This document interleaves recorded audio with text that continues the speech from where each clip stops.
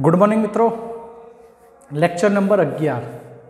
મિત્રો, ગઈકાલના લેક્ચરનો અધૂરો ભાગ અને સૌથી મહત્ત્વનો અને અગત્યના ભાગની શરૂઆત કરીએ. સમય બગાડતા નથી, મિત્રો. ગઈકાલે લેક્ચરના અંદર તમને મેં દ્વિધ્રુવીય ચાકમાત્રાની સમજૂતી આપી હતી. આજે આગળના મુદ્દા તરફ જઈએ. કયો અણુની દ્વિધ્રુવીય ચાકમાત્રા કેવી હોઈ શકે? એને સમજીએ. મિત્રો, બહુ મહત્ત્વની બાબતની શરૂઆત કરીએ, આ શબ્દને સમજીએ. મિત્રો, આ બે શબ્દોને સમજી લઈએ, બે મુદ્દાઓને, પછી કામ સરળ રહેશે. પહેલું બહુ પરમાણવીય અણુમાં, દ્વિધ્રુવીય ચાકમાત્રા, માત્ર બંધની દ્વિધ્રુવીય ચાકમાત્રા. કે જે બંધ દ્વિધ્રુવીય તરીકે જાણીતા છે, તેના પર આધાર રાખતી નથી. પરંતુ અણુઓના જુદા જુદા બંધની અવકાશીય રચના પર આધાર રાખે છે. મિત્રો, આને સમજીએ. બરાબર ધ્યાનથી સાંભળજો. બહુ પરમાણવીય અણુમાં દ્વિધ્રુવીય ચાકમાત્રા માત્ર બંધની દ્વિધ્રુવીય ચાકમાત્રા કે જે બંધ દ્વિધ્રુવીય હોય, એના પર આધાર રાખતી નથી. પરંતુ જુદા જુદા બંધની અવકાશીય રચના પર આધાર રાખે છે. મિત્રો, એક મિનિટ સ્ક્રીનશોટ લઈ લેજો. હવે હું તમને સમજાવું કે આ શું કહેવા માગે છે આ મુદ્દો. ઓકે? ક્લિયર? ચલો, કાઢી નાખું છું, મિત્રો. મારે મેં ગઈકાલે કહ્યું એ પ્રમાણે લખવાનું અને સમજાવવાનું રહેશે. બોર્ડની જરૂરિયાત પણ વધુ રહેશે. મિત્રો, બરાબર ધ્યાનથી સાંભળો, આપણે એક ઉદાહરણ લઈએ સીઓ ટુ અણુનું, કાર્બન ડાયોક્સાઇડ. મિત્રો, તમે શીખી ગયા છો કે કાર્બન ડાયોક્સાઇડના અંદર, બરાબર ધ્યાનથી સાંભળજો, કાર્બન ઓક્સિજન વચ્ચે કાર્બન ઓક્સિજન વચ્ચે દ્વિબંધની રચના થશે. ક્લિયર છે ને? તમને યાદ હશે? મિત્રો, આ રીતે બંધ રચાશે. હવે બરાબર ધ્યાનથી સમજજો. મિત્રો, તમે જાણો છો કાર્બન કરતાં ઓક્સિજનની વિદ્યુત ઋણતા વધુ. કાર્બનની વિદ્યુત ઋણતા બે પોઈન્ટ પાંચ, ઓક્સિજનની વિદ્યુત ઋણતા ત્રણ પોઈન્ટ પાંચ. એટલે શું થશે? આ ઓક્સિજન આંશિક ઋણ વીજભાર ધારણ કરશે. તો એની સાપેક્ષમાં આ કાર્બન આંશિક ધન વીજભાર ધારણ કરશે. ક્લિયર મિત્રો? કાર્બન અને ઓક્સિજન વચ્ચે બંધની રચના થઈ, દ્વિબંધ રચાયો. અહીંયા ઓક્સિજન આંશિક ઋણ ભારીય બનશે. તો ત્યાં કાર્બન આંશિક ધન ભારીય બનશે. સેમ એ ઘટના કે અહીંયા પણ ઓક્સિજન આંશિક ઋણ વીજભાર ધારણ કરશે, તો કાર્બન પણ અહીં આંશિક ધન વીજભાર ધારણ કરશે.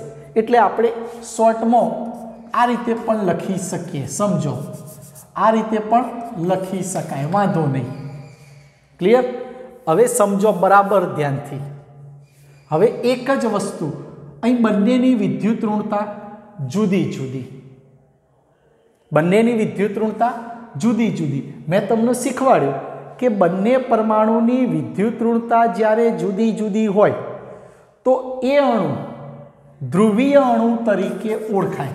મતલબ આપણે એમ કહી શકીએ કે કાર્બન ડાયોક્સાઇડના અંદર ધ્રુવીય ગુણધર્મ જોવા મળશે. કેવો ગુણધર્મ જોવા મળશે? ધ્રુવીય. મિત્રો, એ પણ તમને કહું કે આ જે વચ્ચે બંધ રચાયો ને, વચ્ચે બંધ રચાયો, એ બંધ કેવો કહેવાય?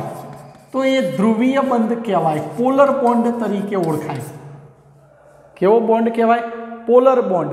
અહીંયા પોલર મોમેન્ટ પણ કહેવાય, બંધની ચાકમાત્રા. ધ્રુવીય બંધ તરીકે ઓળખાશે. પણ મહત્વની વાત મિત્રો, મેં તમને શીખવાડ્યું કે દ્વિધ્રુવીય ચાકમાત્રાનું નિશાન આ રીતે વાગશે.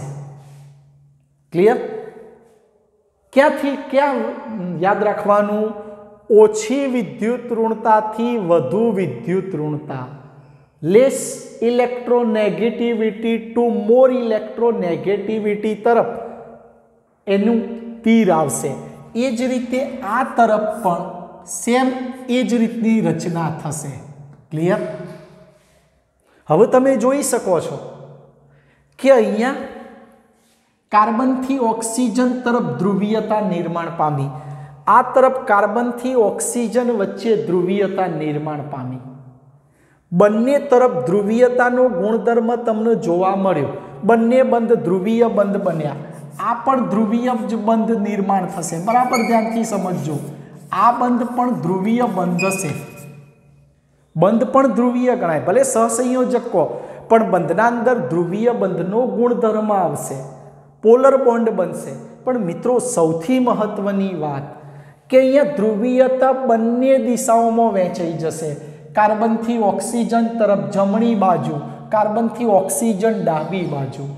બંને દિશાઓમાં સમાનપણે વહેંચાઈ જશે સરખી પ્રમાણે. અને જ્યારે ધ્રુવીયતા બંને તરફ સરખા પ્રમાણમાં વહેંચાઈ જાય, તો એમ કહેવાય કે એની દ્વિધ્રુવીય ચાક માત્રા મ્યુ એ હંમેશા શૂન્ય જ હોય. યાદ રાખો, જ્યારે ધ્રુવીયતા બંને દિશામાં વહેંચાઈ જશે સમાનપણે, ત્યારે એની દ્વિધ્રુવીય ચાકમાત્રા મ્યુ શૂન્ય હોય. હા અણુ ધ્રુવીય ગણાય. અણુ ધ્રુવીયતાની દ્રષ્ટિએ ધ્રુવીય ગણાય, એનો બંધ પણ ધ્રુવીય ગણાય. પણ એની દ્વિધ્રુવીય ચાક માત્રા મ્યુ કેવી હશે? શૂન્ય હશે. એટલે એમ કહેવાય કે બંધની ધ્રુવીયતા એની દ્વિધ્રુવીય ચાકમાત્રા પર આધાર રાખતી નથી. કોના ઉપર આધાર રાખશે? એની અવકાશીય ગોઠવણી. પણ મિત્રો, અવકાશીય ગોઠવણીની સમજૂતી જ્યારે હું વીએસસીપીઆર સિદ્ધાંત ચલાવીશ, ત્યારે સમજાવીશ વીએસસીપીઆર સિદ્ધાંત ચલાવીશ, ત્યારે એની અવકાશીય ગોઠવણી સમજાવીશ. પણ તમે આટલું યાદ રાખો. આટલી યાદ રાખો કે એની દ્વિધ્રુવીય ચાકમાત્રા મ્યુ શૂન્ય થશે. કેમ? તો બંને તરફ સમાન. કેમ? તો આપણે જ્યારે તમે સૂત્ર વાપરશો, mu is equal to Q into R. Capital Q into R. આ સૂત્ર વાપરો. તો અહીંયા ભારે સમાન થશે. આ બંનેના ભાર સમાન થશે. આનો ભાર સમાન, આનો ભાર આમ સમાન થઈ જશે પ્લસ માઇનસ ઝીરો સમાન થઈ જશે. અહીંથી અહીં અંતર, અહીંથી અહીં અંતરે સમાન થશે, અંતરે સમાન થશે. બંનેના ભારે સરખા પ્લસ માઇનસ પ્લસ માઇનસ જોજો, કાર્બન અને ઓક્સિજન બંને પરમાણુ સમાન. કાર્બન અને ઓક્સિજન બંને પરમાણુ સમાન. એટલે આસપાસના પરમાણુઓ સમાન હશે. એટલે બંનેના ભાર પણ કેવા કહેવાય? સમાન. બંને વચ્ચેનું અંતર પણ કેવું સમાન? પણ કેવું છે અંતર? બંનેનું પરસ્પર વિરુદ્ધ. એટલે અંતરનું મૂલ્ય શૂન્ય થઈ જાય. એટલે એની દ્વિધ્રુવીય ચાકમાત્રા પણ શું થઈ જાય છે મિત્રો? શૂન્ય થઈ જશે. પણ એના કરતાં પણ બહુ મહત્વની વાત કે કોની દ્વિધ્રુવીય ચાકમાત્રા શૂન્ય કેવી? કોની દ્વિધ્રુવીય ચાકમાત્રા શૂન્ય કેવી? તો એ બરાબર ધ્યાનથી સાંભળો. હું એક નીટ કોન્સેપ્ટ માટે પોઈન્ટ લખું. કયો પોઈન્ટ મધ્યસ્થ પરમાણુની આસપાસ? બહુ અગત્યનો પોઈન્ટ નોંધ કરજો. મધ્યસ્થ પરમાણુની આસપાસ સમાન પરમાણુઓ હોય. સમાન પરમાણુઓ હોય. અને મધ્યસ્થ પરમાણુ પાસે. પરમાણુ પાસે. અબંધકારક. અબંધકારક.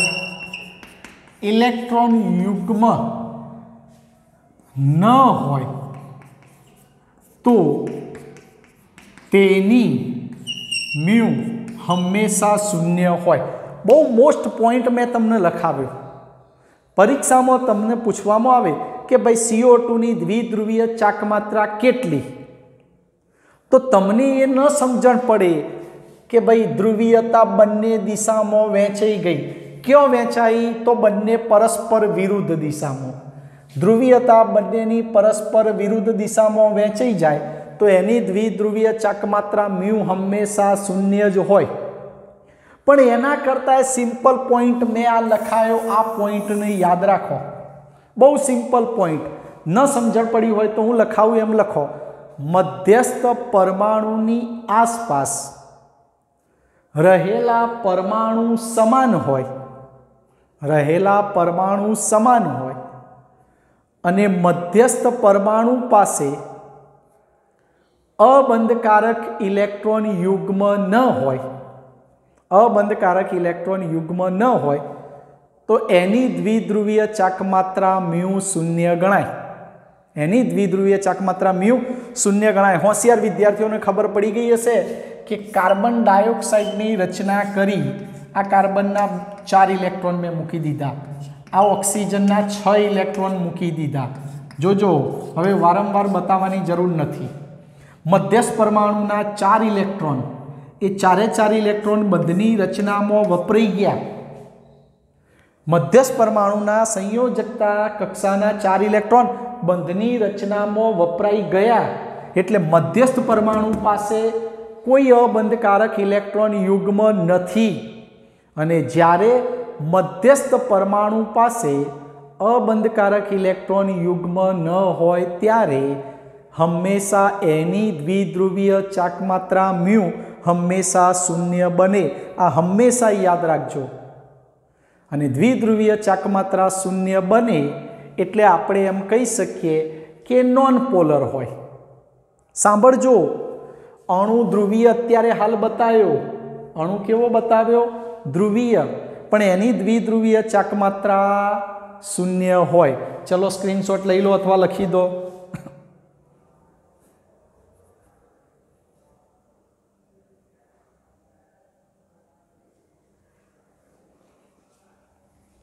ક્લિયર ક્લિયર મિત્રો, હવે આખું અણુ કહેતા હતા ધ્રુવીય, પણ એની દ્વિધ્રુવીય ચાકમાત્રા કેવી થઈ? તો એની દ્વિધ્રુવીય ચાકમાત્રા શૂન્ય થઈ.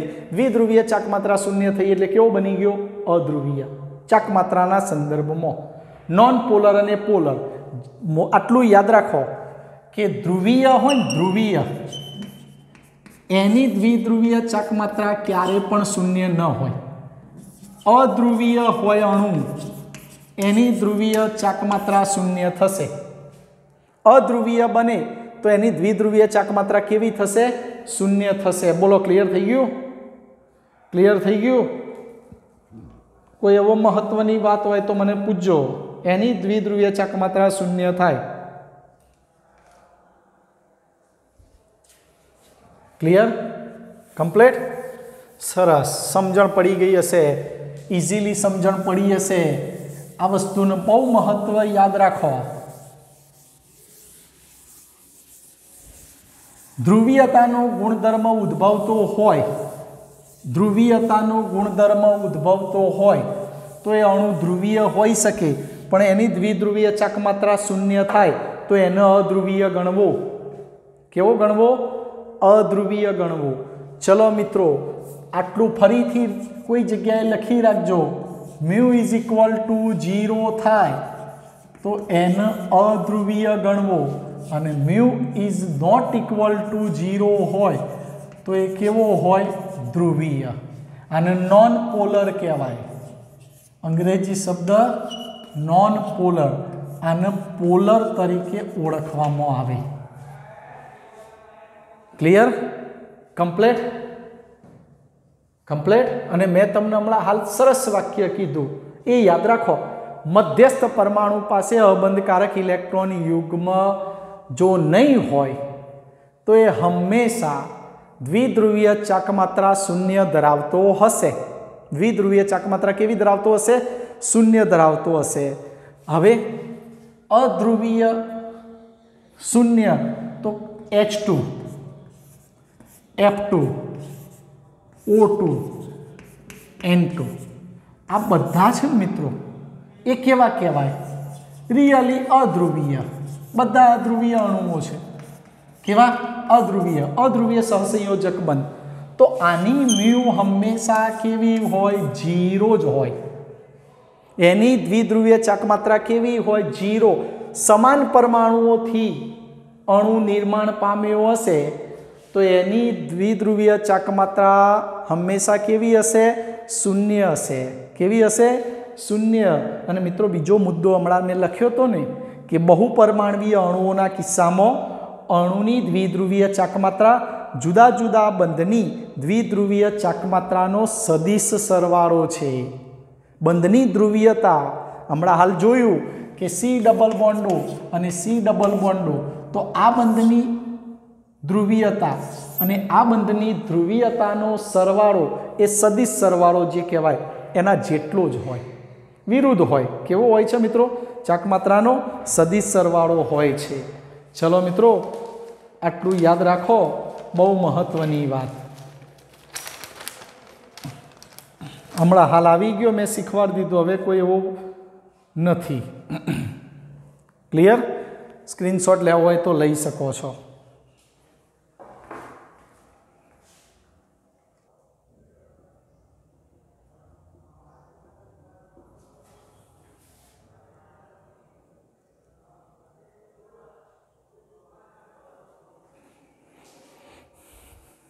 ચલો મિત્રો, હવે આગળ જઈએ. મિત્રો, હમણાં જ મેં ઉદાહરણ સમજાવ્યું તમને. એચએફ, એચસીએલ, એચબીઆર અને એચઆઈ. એમાં સૌથી વધુ ધ્રુવીય એચએફ ગણાય. એના કરતાં ઓછું એચસીએલ, એના કરતાં ઓછું એચબીઆર, એના કરતાં ઓછી ધ્રુવીયતા હોય તો એચઆઈમાં. મિત્રો, ઉપર મેં એની દ્વિધ્રુવીય ચાકમાત્રાનું મૂલ્ય લખ્યું. હવે સૌથી ઓછામાં ઓછી દ્વિધ્રુવીય ચાકમાત્રા હોય તો એચઆઈની સૌથી વધુમાં વધુ દ્વિધ્રુવીય ચાકમાત્રા હોય તો એચએફની હવે મિત્રો કોઈ પણ અણુની દ્વિધ્રુવીય ચાકમાત્રા નક્કી કરવી હોય ને, તો આના પરથી નક્કી થાય. કોના પરથી નક્કી થાય? એના ભાર અને બે પરમાણુના કેન્દ્રો વચ્ચેનું અંતર. હવે તમે જોવા જાઓ. તો બધા ઉપરનો ભાર તો સમાન જ હશે, લગભગ. આ બધા ઋણ વીજભારીએ એક જ સમાનની સંયોજકતા ધરાવતા હોય. ક્લિયર એની વિદ્યુત ઋણતાનું મૂલ્ય જુદું જુદું હોય. પણ મિત્રો, મહત્વની વાત કે જ્યારે એના અંતરની વાત આવે, ત્યારે સમજવાની બાબત આવી મિત્રો, કે આજે તમે એચ અને એફની વાત કરો છો એચ એફ તો મિત્રો, હાઇડ્રોજનનું કદ નાનું, એના કરતાં ફ્લોરિન કદમાં મોટો. અહીં બાકીના ઉદાહરણમાં હાઇડ્રોજનનું કદ સમાન રહેશે. હાઇડ્રોજનનું કદ, પણ ક્લોરિન પરમાણુનું, બ્રોમિન પરમાણુનું કદ વધતું જશે. વધતું જશે કે નહીં વધતું જાય? જુઓ મિત્રો, આમ કદ વધતું જાય. હવે સામાન્ય રીતે હાઇડ્રોજનનું કદ બધામાં એક જ સરખું રહેશે. પણ સામે ઋણ આયનનું કદ મોટું થતું જશે. તો મિત્રો એમ કહેવાય કે બંને વચ્ચેના કેન્દ્રો વચ્ચેનું અંતર વધતું જશે. અંતર આર જે હશે ને ડિસ્ટન્સ એ એનું આર વધતો જશે.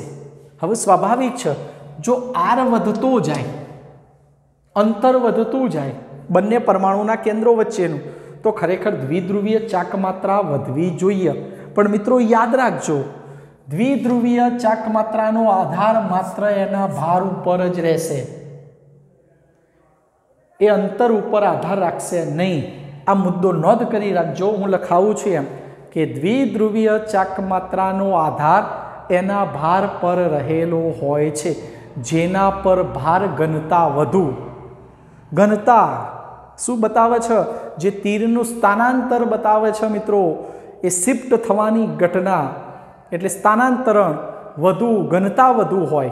ઇલેક્ટ્રોનીય ઘનતા કહેવાય. જ્યાં ઇલેક્ટ્રોનીય ઘનતા વધુ હોય, એ એનો ભાર બતાવશે અને જ્યાં ભાર વધુ હોય, એની દ્વિધ્રુવીય ચાકમાત્રા વધુ હોય. અહીંયા ઇલેક્ટ્રોનીય ઘનતા વધુ ફ્લોરિન તરફ રહેશે. કેમ? ફ્લોરિનની વિદ્યુત ઋણતા વધુ.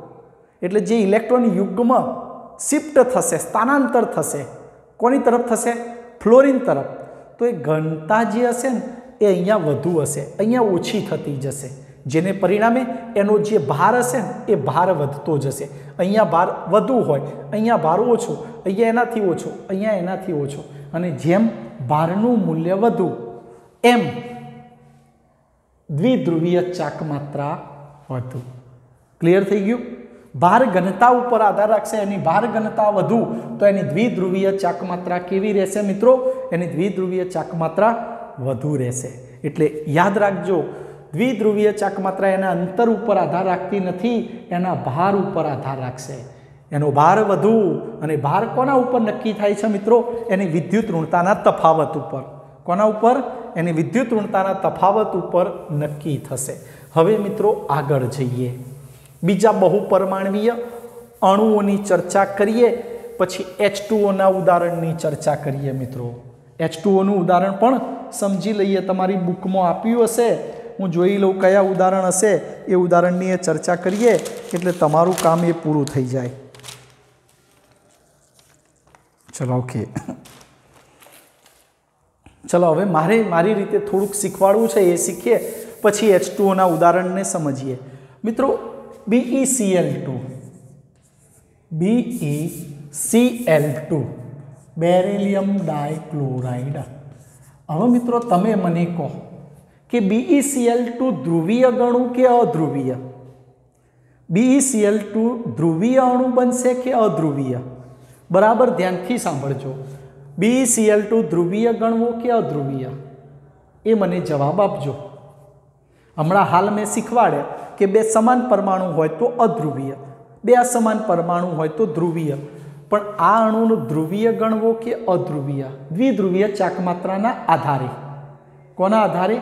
દ્વિધ્રુવીય ચાકમાત્રાને આધારે આને અધ્રુવીય ગણવો કે ધ્રુવીય ગણવો એ મને કહી શકશો તમે? ચલો, તો હવે જુઓ. બીઈ અહીંયા મૂક્યો સીએલ અહીં મૂક્યો સીએલ બરાબર જોજો. બેરિલિયમ પાસે બે ઇલેક્ટ્રોન. ક્લિયર આ સીએલની સંયોજકતા કક્ષાના સાત ઇલેક્ટ્રોન. આ સંયોજકતા કક્ષાના સાત ઇલેક્ટ્રોન મૂકી દીધા. સિંગલ સિંગલ બંધ રચાશે. રચાશે? કેવી રીતે? તો આ રીતે બંધ રચાશે. હવે તમે જાણો છો કે આની વિદ્યુત ઋણતા વધુ. આંશિક ઋણ વીજભારીય. આંશિક ઋણ વીજભારીય. આંશિક ધન ભારીય બનશે. એટલે જે દ્વિધ્રુવીય ચાકમાત્રાનું નિશાન આ રીતે જશે. એ રીતે અહીં આ પ્રમાણે એરો રહેશે. દ્વિધ્રુવીય ચાકમાત્રાને નાના તીર વડે દર્શાવી આ તીર રહેશે. હવે તમે જોઈ શકો છો કે મધ્યસ્થ હવે વાક્ય જે હું બોલું છું ને એ સમજજો. કોણ ગણશો મધ્યસ્થ પરમાણુ? બેરેલિયમ. બેરેલિયમ મધ્યસ્થ પરમાણુની આસપાસ જોજો મધ્યસ્થ પરમાણુની આસપાસ રહેલા પરમાણુ સમાન હોય. મેં તમને એવું શીખવાડી દીધું કે મધ્યસ્થ પરમાણુની આસપાસ રહેલા પરમાણુ સમાન હોય, તો એની દ્વિધ્રુવીય ચાકમાત્રા શું થાય? શૂન્ય.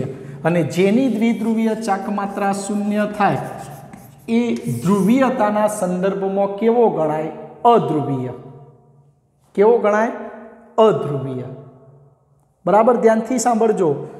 જેની દ્વિધ્રુવીય ચાકમાત્રા શૂન્ય થાય એ અધ્રુવીય ગણાય. હવે તમને ખબર પડી ગઈ કે બંને પરમાણુ સમાન.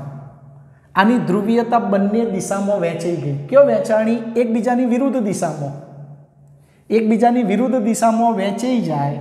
એકબીજાની વિરુદ્ધ દિશામાં વહેંચાઈ જાય તો મ્યુ શૂન્ય થાય જ. પણ મેં બીજી શરત કરી હતી કે મધ્યસ્થ પરમાણુ પાસે કોઈ અબંધકારક ઇલેક્ટ્રોન યુગ્મ હોવું જોઈએ નહીં. આ બંને કેવા છે? બંધકારક ઇલેક્ટ્રોન યુગ્મ. હવે મધ્યસ્થ પરમાણુ પાસે કોઈ અબંધકારક ઇલેક્ટ્રોન યુગ્મ નથી અને મધ્યસ્થ પરમાણુ પાસે કોઈ અબંધકારક ઇલેક્ટ્રોન યુગ્મ ન હોય તો એની દ્વિધ્રુવીય ચકમાત્રા કેવી થાય? શૂન્ય થાય. ચલો બીજું ઉદાહરણ એ પ્રમાણે જોઈએ. બી એફ થ્રી ચલો મિત્રો બી એફ થ્રીની રચના આવી થશે. ક્લિયર સમજણ પડી ગઈ હશે? આ બોરોનના ત્રણ ઇલેક્ટ્રોન ફ્લોરિનના સાત બતાવતો નથી, હવે સમજણ પડી ગઈ છે મિત્રો. હવે તમે જુઓ, આની ધ્રુવીયતા દૂર, દર્શાવી હોય ને, તો દ્વિધ્રુવીય ચાકમાત્રા બોરોનથી ફ્લોરિન તરફ નિર્માણ પામશે. ખરું કે ખોટું? કેમ? તો તમે જાણો છો કે ફ્લોરિનની વિદ્યુત ઋણતા વધુ.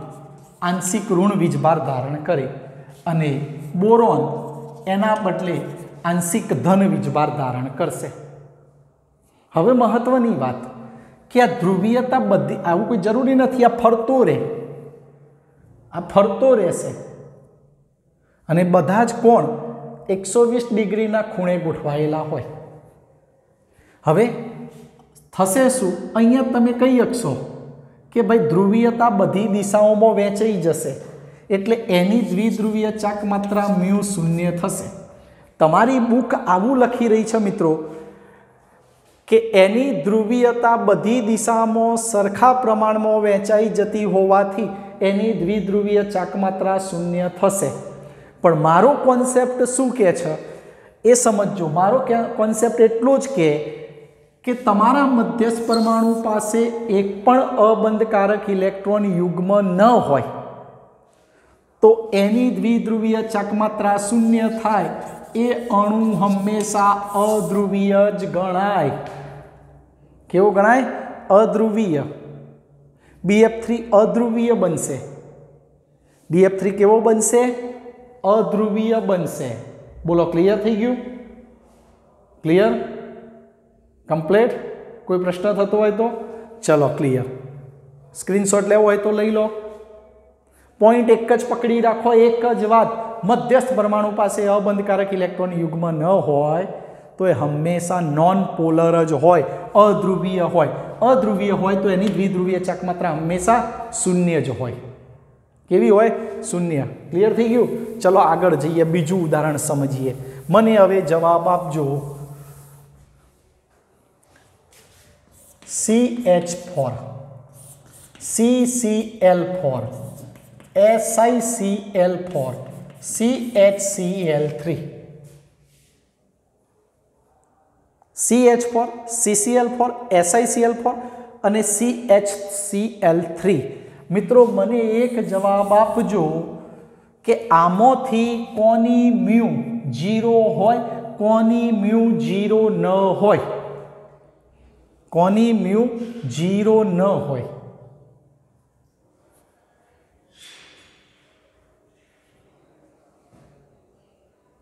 ક્લિયર હવે આ જુઓ.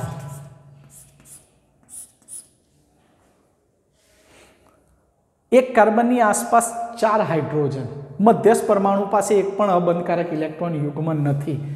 આની મ્યુ જીરો જ હોય. અહીંયા ચારે ચાર ક્લોરિન પરમાણુ સમાન. આની મ્યુ જીરો જ હોય. એસઆઈસીએલ ફોર મ્યુ જીરો હોય. કેમ હોય? એ મને જવાબ આપો ને છેલ્લાની નક્કી કરીને કહો.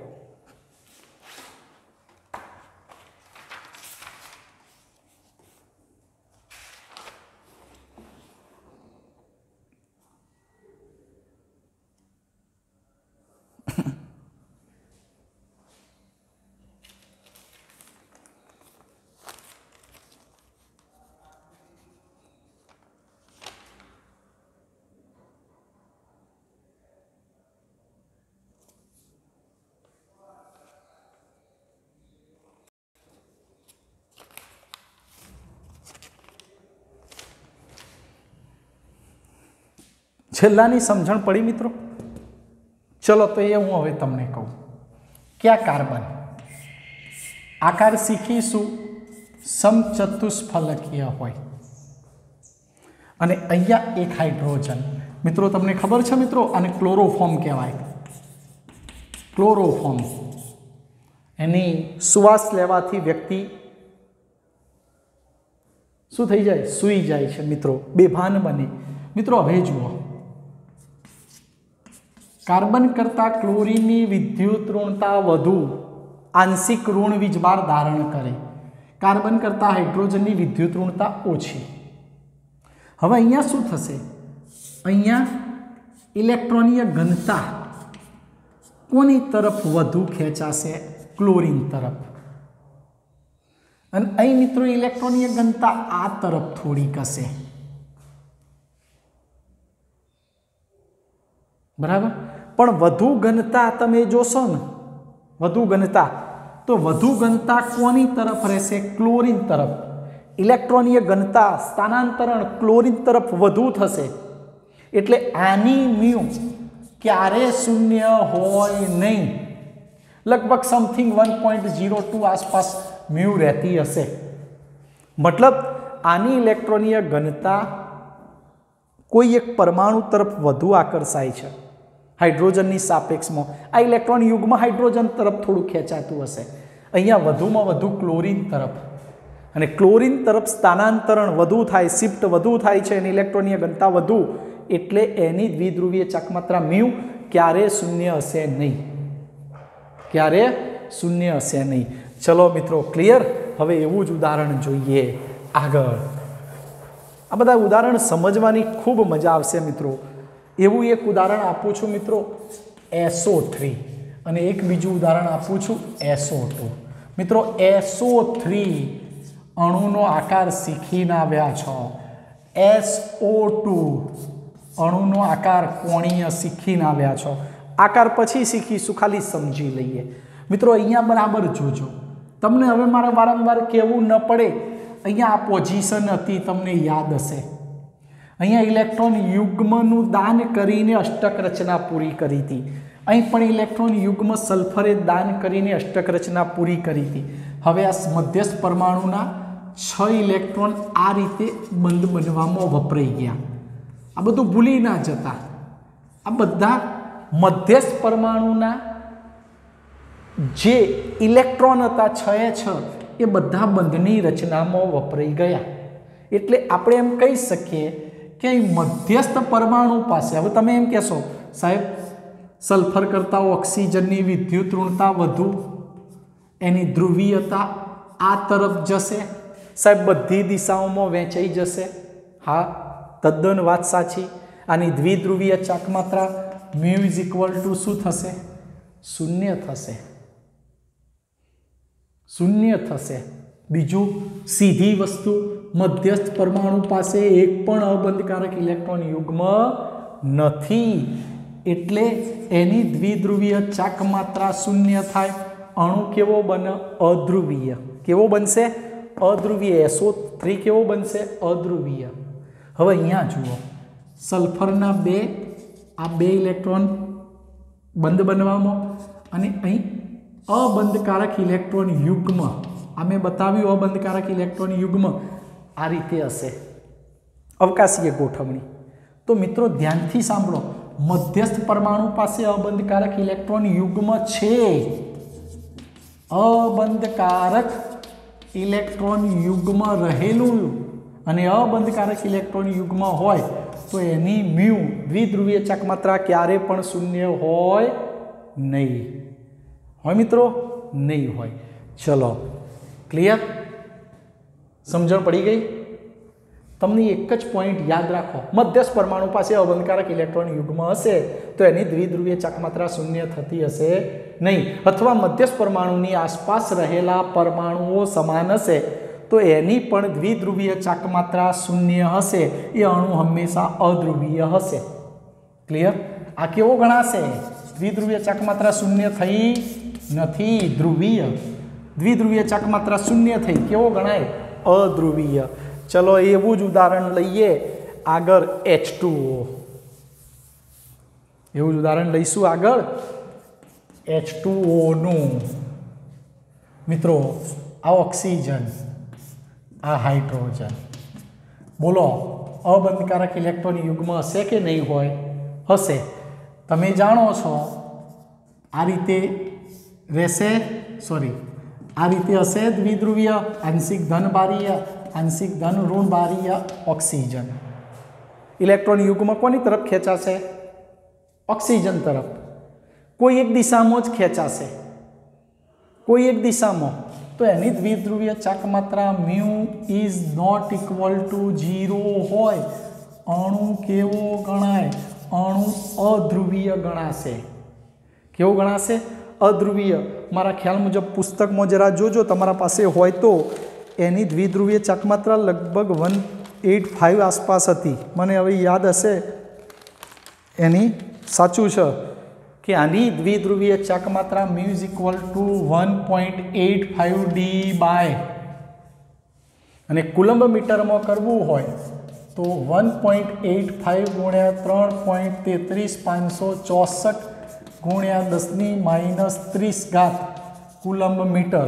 ગુણાકાર કરી જોજો કેલ્સી હોય તો છ પોઈન્ટ સત્તર ગુણ્યા દસની માઇનસ ત્રીસ કુલંબ મીટર. કુલંબ મીટર થશે.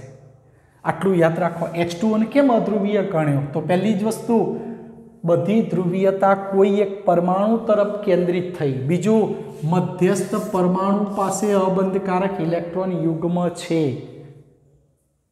હવે તમે કહો સાહેબ, આ ઓક્સિજન, આ હાઇડ્રોજન આ હાઇડ્રોજન બંને તરફ વેચાઈ જાય. ના સાહેબ, અહીંથી અહીં જશે, અહીંથી અહીં જશે. જુઓ.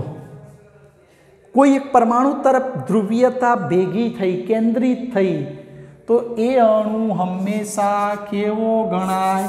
એ અણુ હંમેશા ધ્રુવીય ગણાય. કેવો ગણાય? ધ્રુવીય, મેં લખ્યું હતું અધ્રુવીય. સોરી હો, ખોટું મિત્રો. આનું ધ્રુવીય ગણાય. એચ ટુઓનો અણુ કેવો ગણાય? ધ્રુવીય. ધ્રુવીય અણુની ચુમ દ્વિધ્રુવીય ચાકમાત્રા ક્યારે પણ શૂન્ય ન હોય, શૂન્ય સિવાયની હોય.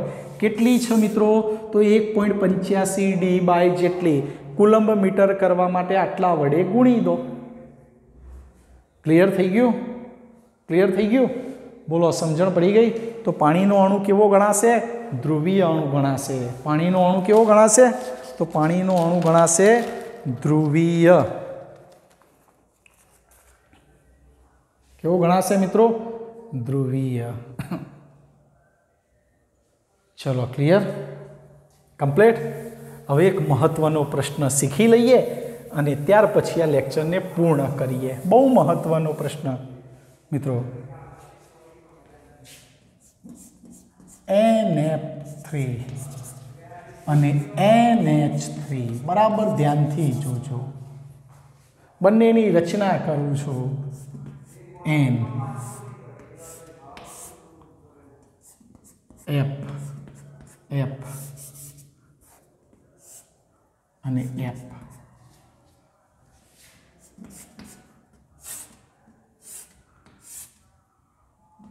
એચ એચ એચ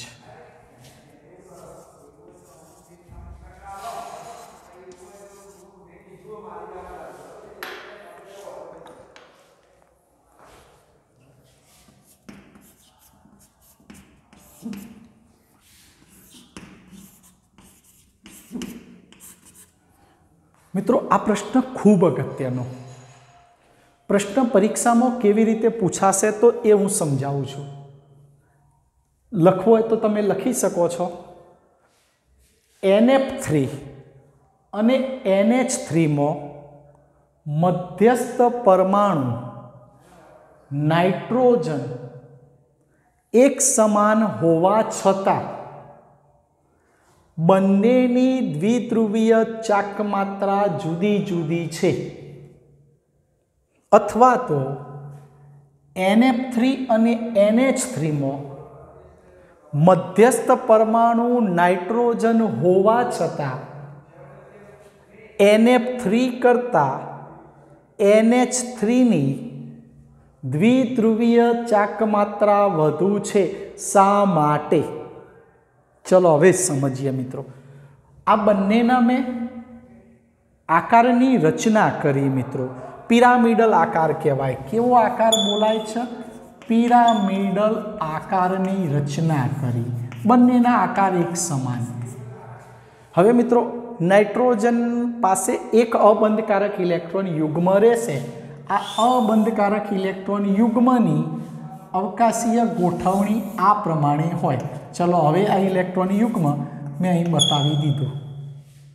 હવે તમે જાણો છો, નાઇટ્રોજન કરતાં ફ્લોરિનની વિદ્યુત ઋણતા વધુ આંશિક ઋણ વીજભાર ધારણ કરે, એના બદલે નાઇટ્રોજન આંશિક ધન વીજભાર ધારણ કરશે. હવે જોજો, અહીં ધ્રુવીયતા કોની તરફ કેન્દ્રિત થશે? નાઇટ્રોજનથી ફ્લોરિન તરફ.